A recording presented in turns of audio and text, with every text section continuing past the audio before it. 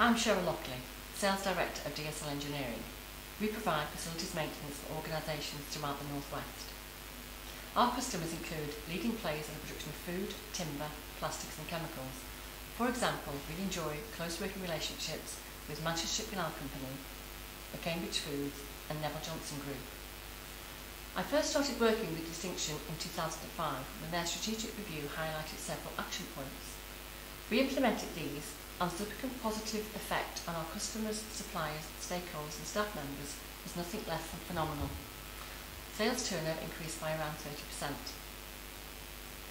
Further strategic work carried out in 2011 gave us the confidence to expand and move into larger premises, increasing staff levels twofold.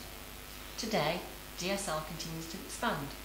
As a direct result of working with Julie and her distinction team, we are now entering national contracts, becoming recognised by blue chip companies and diversifying into new sectors.